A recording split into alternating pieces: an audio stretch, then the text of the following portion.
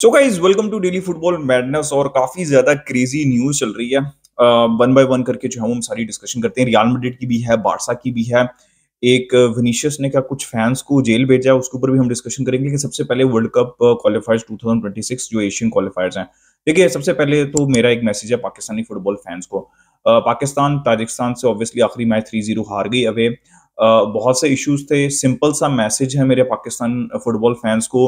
It was a miracle कि आप इस राउंड के अंदर ऑलरेडी खेल रहे थे लेकिन इसके पॉजिटिव क्या निकले हैं ठीक है? देखिए मंचीनी जैसा मैनेजर ये कह रहा है कि पाकिस्तान ने देखिए कॉन्स्टेंटीन के अंडर पाकिस्तान ने इंप्रूव किया डिफेंसिवली ऑब्वियसली गोल स्कोर करना वो वक्त के साथ आता है और इवेंचुअली आएगा राइट मंचीनी जैसे मैनेजर ने ये कहा कि पहली लेग में सेकंड लेग में uh, पाकिस्तान जो है वो बेहतर खेली है। तो ये एक कॉम्प्लीमेंट ही है। पहला जो है वो फ्लड लाइट्स के अंदर मैच हुआ। पाकिस्तान फुटबॉल फैंस जो है वो स्टेडियम जिना स्टेडियम के अंदर जो है वो इकट्ठे हुए मैच देखा। तीन टीम्स आई, तीन टीम्स के अगेंस्ट अवे अपने मैच खेला। तो एक लर्निंग एक्सपीरियंस है, इससे सीखना चाहिए और इसको आगे डेवलपमेंट की तरफ़ लेके जाना चाहिए। लीग बनानी चाहिए कॉन्स्टेंटीन को पावर देनी चाहिए और पॉलिटिक्स को दूर करना चाहिए। तो ये एक सिंपल सा मैसेज है। अगर आप इसके ऊपर बिल्डअप करेंगे तो बहुत अच्छा रहेगा, लेकिन अगर आप इस अपॉर्चुनिटी को जाने देंगे तो ऑब्वियसली फ्यूचर भी वैसा होगा जैसा पास्ट है। अब आ जाते हैं India Qatar versus India India one zero lead कर रही थी। उसके बाद there is absolutely no doubt कि it was a robbery India के साथ रॉबरी हुई है। दैट बॉल वॉज़ क्लियरली जो है आउटसाइड और यहाँ पे रेफरीज की बहुत बड़ी मिस्टेक है। और नेक्स्ट राउंड में नहीं जा पाई इंडिया अब पता नहीं, देखें, अब मैच के अंदर क्या होता, क्या मैच ड्रॉ हो जाता, या कतर फिर भी कम बैक कर लेती, लेकिन वो बाद की बात है, ठीक है? कि कतर कैसा खेल रही थी इंडिया कैसा खेल रही थी, लेकिन उस मोमेंट के अंदर, देखें कभी कभार क्या होता है कि ऑपोजिशन टीम अच्छी भी खेल रही होती है लेकिन आप डिफेंड कर रहे होते हो और वन ज़ीरो की लीड जो है वो डिफेंड कर लेते हो।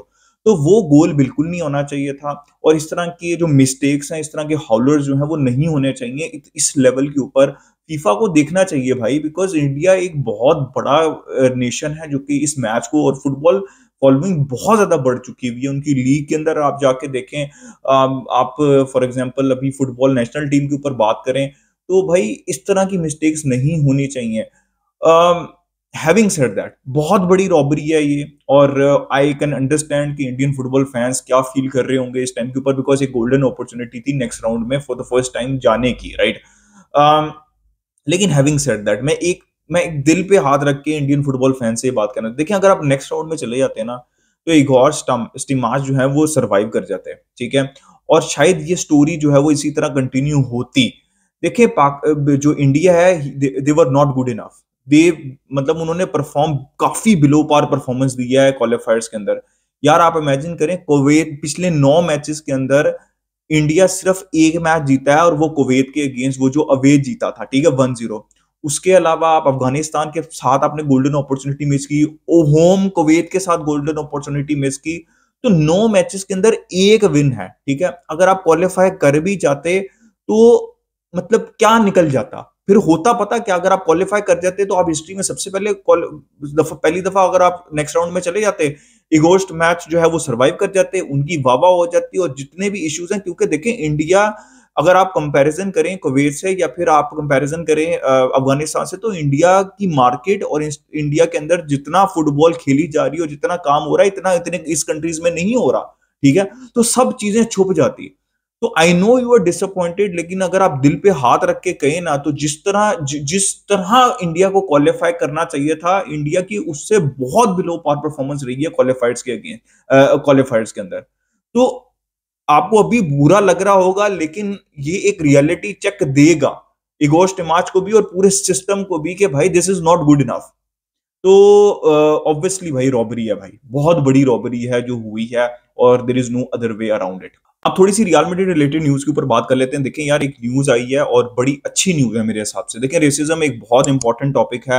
आपको प्लेयर पसंद हो या ना हो, आप विनीशियस आपको पसंद हो ना हो, आपको कोई और प्लेयर किसी और टीम का पसंद हो ना हो, लेकिन देखें, लेकिन racism is answer to nothing right आपको पसंद नहीं आ रहा प्लेयर आप क्रिटिसाइज करें, जो भी बोलना, आप फ्रीडम ऑफ़ स्पीच आप सबका हक है। बट नो टू रेसिज्म और स्पेनिश फुटबॉल हिस्ट्री में पहली दफ़ा ऐसा हुआ है कि रेसिज्म के ऊपर तीन लोगों को आठ महीने की जेल की सजा सुनाई दी है सुनाई दी गई है और वेलेंशिया के फैंस हैं ये तीन। आपको याद होगा विनीशियस पिछले साल ये इंसिडेंट हुआ था कि रेशली अब्यूज किया गया था वेलेंशिया फैंस की तरफ़ से और यहाँ पे उनको सजा मिली है और दो साल तक वो कोई फुटबॉल मैच भी नहीं देख पाएँगे। वहाँ उसका भी बैन है और फाइन भी लगे हैं।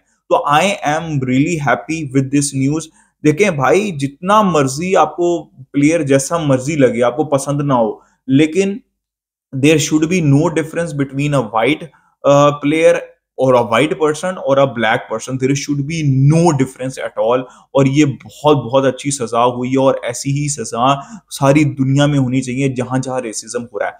अब थोड़ी सी रियाल मेड्रिड की दूसरी न्यूज़ के ऊपर आ जाते हैं। देखें जूलियन अल्वरेज की न्यूज़ आ रही है टू रियाल मेड्रिड भाई। इस समर के लिए नहीं नेक्स्ट समर के लिए। देखें जूलियन अल्वरेज अनसेटल तो हैं। उन्होंने अपनी एक स्टेटमेंट भी दी थी और वो ये बात सोच तो रहे हैं कि भाई उनको प्लेइंग टाइम मिले ना मिले लेट्स सी व्हाट हैपन इस तरह की उन्होंने बात किया अब पीएसजी भी इंटरेस्टेड होगी ऑब्वियसली रियाल मेडिड भी इंटरेस्टेड हो सकती है बट रियाल मेडिड उनको खिलाएगी किधर भाई? रियाल मेडिड का मुझे तो, तो, समझ नहीं लग रही कि रियाल मेडिड का क्या सीन है। लेकिन एक सीन के अंदर समझ लग सकती है क्योंकि देखें विनीशियस की अभी अभी थोड़ी देर पहले न्यूज़ आई है कि पीएसजी इंटरेस्टेड है विनीशियस में।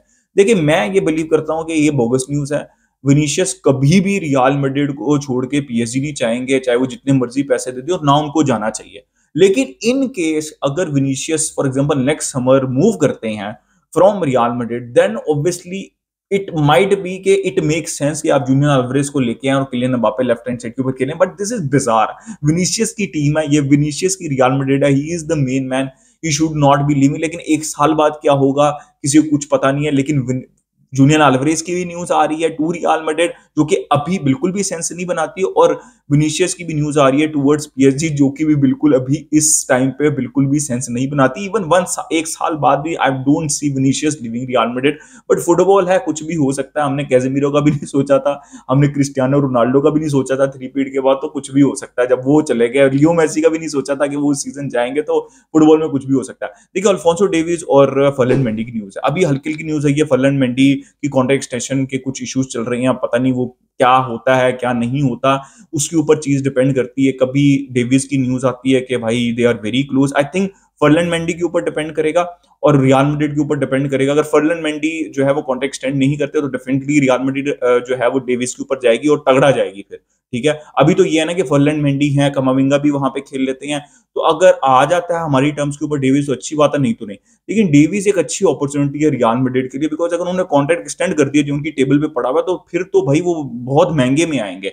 वो फिर चालीस पचास मिलियन यूरोज में नहीं आएँगे। तो गाइज़ ये रियाल मेड्रिड से रिलेटेड न्यूज़ है। अब आ जाते हैं थोड़ी सी बारसा की न्यूज़ के ऊपर। देखिए, डेको और हांसी फ्लिक की जो है वो मीटिंग हुई, आपने सब कुछ देखा।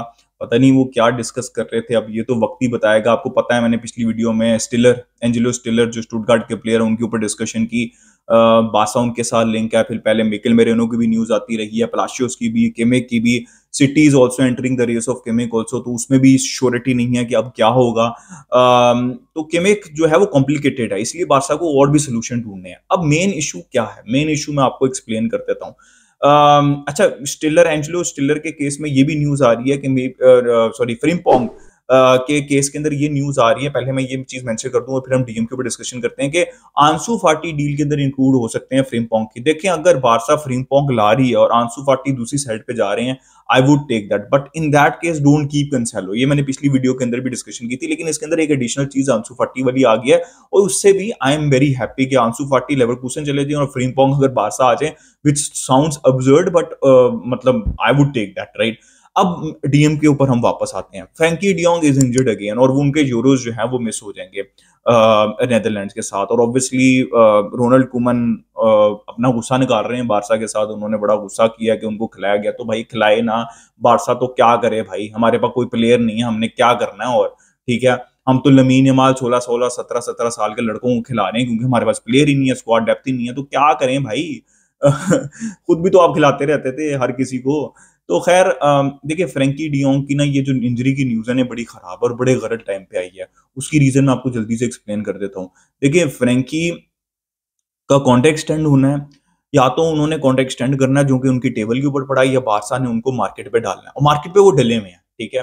मार्केट पे डले हुए हैं, ये जो न्यूज़ आ रही है ना इधर उधर की, ये इससे कनेक्टेड है। वो मार्केट के ऊपर डले हुए हैं और उनके ऊपर प्रेशर है।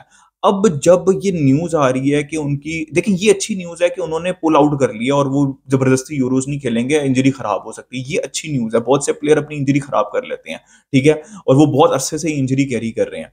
अब अगर वो इन, उनकी इंजरी सीरियस है अभी टाइम लाइन तो आ ही नहीं रही भाई। तो हो सकता है क्लब्स उनके लिए बिड ना करें। तो ये बारसा के लिए, अगर क्लब्स उनके लिए बिड नहीं करते और फ्रेंकी तो फिर तो उन सारी चीज़ें उनके हाथ में ना वो एक्सटेंड करें ना करें। हाँ अगर किसी क्लब की बिड आती है तो आप प्रेशराइज कर सकते हैं कि भाई या तो आप एक्सटेंड करें या फिर आप ये बिड एक्सेप्ट हम कर रहे हैं तो आप प्रेशर क्रिएट कर सकते हैं। अगर आप इंजरी की वजह से बिड नहीं आती तो बहुत बड़ा इशू है बादशाह के लिए। तो बारसा सॉल्यूशंस पैरेलल में देख रही है कि फ्रेंकी के साथ किस प्लेयर को साइन करना है और अगर फ्रेंकी चले जाती है तो किन दो प्लेयर्स को साइन करना है? उसके अंदर मैंने आपको बता दिया है Palacios Kimmich Stiller Mikel Merino ये सब प्लेयर्स उनाना की भी कहीं न्यूज़ आती है, लेकिन अब बहुत ज़्यादा न्यूज़ नहीं आ रही। ये सब प्लेयर्स शॉर्ट लिस्टेड हैं। अब डिपेंड करता है, अगर फ्रेंकी स्टे करते हैं तो सिर्फ़ एक प्लेयर आएगा। वो मेरे हिसाब से तो किमिक होना चाहिए और अगर फ्रेंकी जाते हैं तो दो प्लेयर्स को आना चाहिए। वो उसमें भी मेरे हिसाब से तो किमिक होने चाहिए और दूसरे मिकिल मेरेनो स्टिलर जो भी आपको फाइनेंशियली सूट करे, वो उनमें से कोई भी एक हो सकता है। बट ये फ्रेंकी की सिचुएशन काफ़ी ज़्यादा जो है, वो क्यूरियस है और काफ़ी ज़्यादा मतलब डेलीगेट है। लेट सी के क्या होता है। लेमनडॉस्की की भी इंजरी की न्यूज़ आई थी but I think he is fine वो पहला मैच मिस करेंगे यूरोज का तो बहुत बड़ी सीरियस इंजरी नहीं है। तो लेट्स सी के बारसा क्या करती है, लेकिन फ़िलहाल अभी तक यही न्यूज़ है। अपना ओपिनियन दें regarding everything in the comment section like कर दिए सब्सक्राइब करके मिलते हैं नेक्स्ट वीडियो में। इसका